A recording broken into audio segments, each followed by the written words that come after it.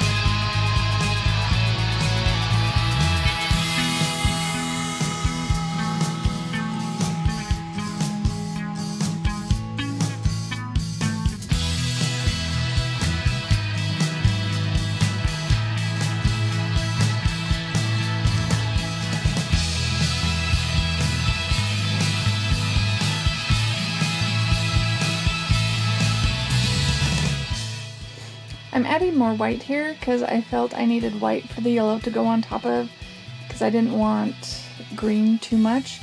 And then my film must have cut out and you don't see me put the yellow on. But it's already too long, so you're okay with that, right? um, this page already had some uh, texture paste on it um, that had been put through a leaf stencil it was just le leftover texture paste. I just turned to a paste in my journal and scraped it on through the stencil. Um, and decided it would be fun to use that for this project. And I'm outlining it with a uh, gold pen. And let's see if I can tell you the name of that gold pen. If I can remember where I stashed it last. Maybe not.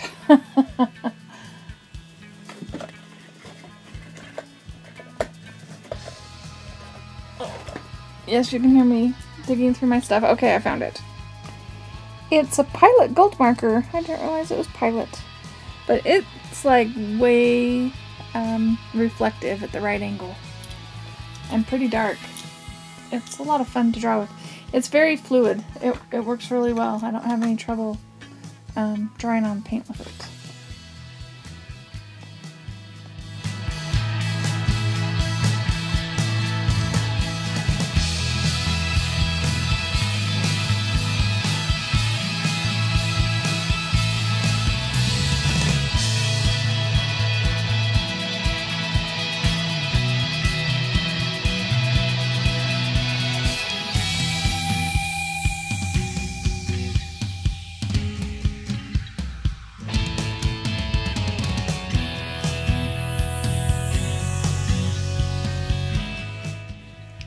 This flower I'm drawing on with my black Posca, but once I get them drawn on, I decide they need gold, so I add the gold pen over the top.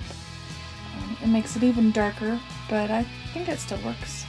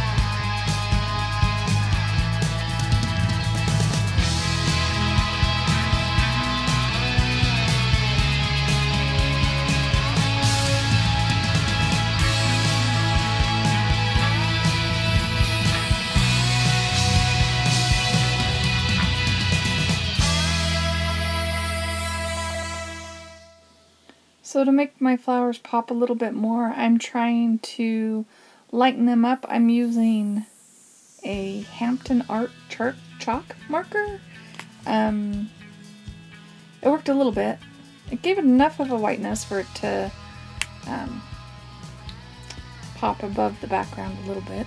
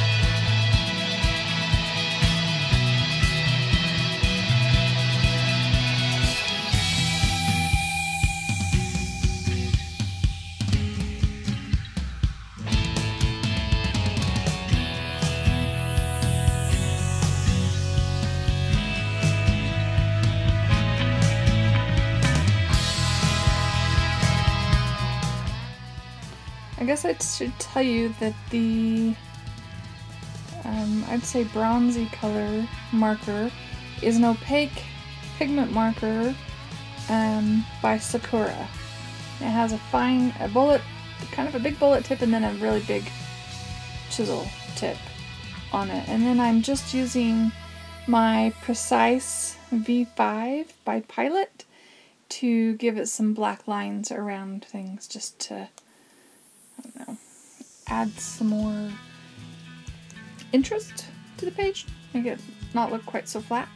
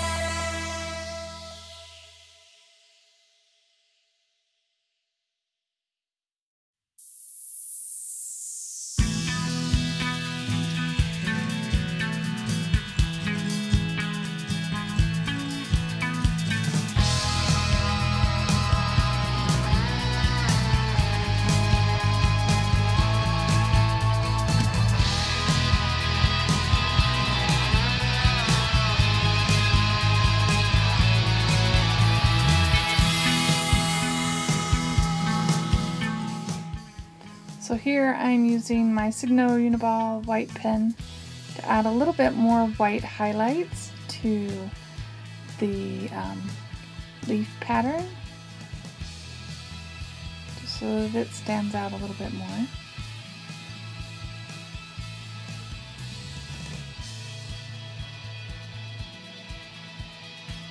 I think I put a little bit on the flowers as well.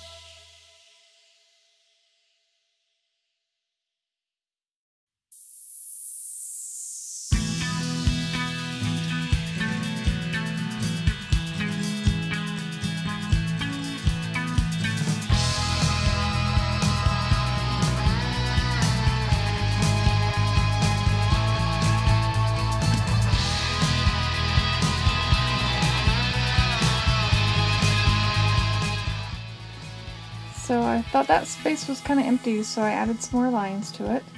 And now to work on our focal point. So I've already sketched out the cat. This is not an original design by me. Um, it's one I found and thought I would try to sketch it. I did not trace it, I sketched it, so it's not exactly the same, but it's kind of close.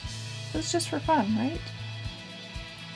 And we're just I'm just using Crayola colored pencils because that's what was right nearby that I could grab and we're gonna color him. I'm using black and violet and indigo to try and make him kind of dark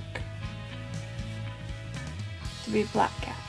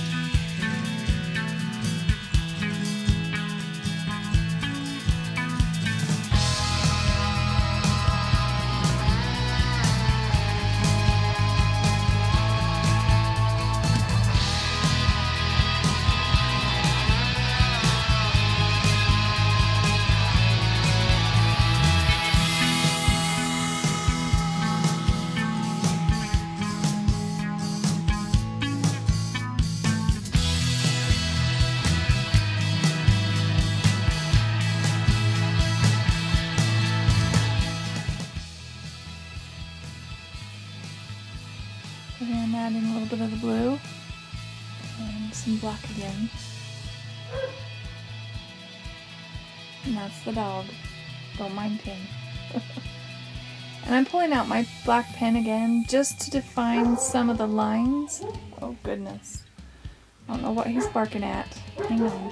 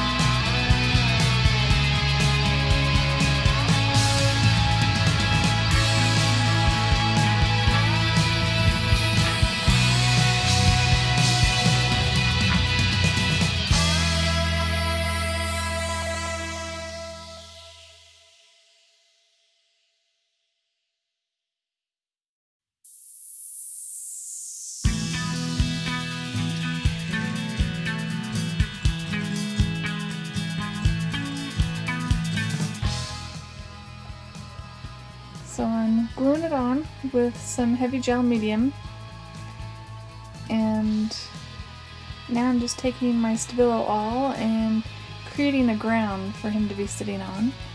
So I'm just going to do a little shading right at that line, make it look like a surface. And of course trying to go around the leaves and the flower patterns so they stay in the front.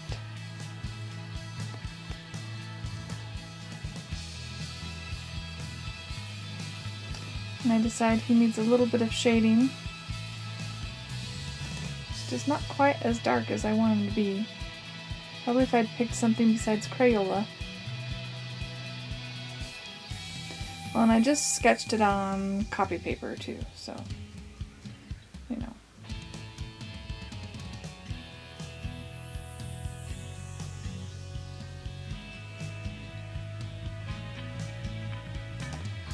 And there we go. See there you can see the reflectiveness of that gold pen. Well, I hope you liked that. If you did like it, please hit like, feel free to share, comment, and if you'd like to see more from me, please subscribe.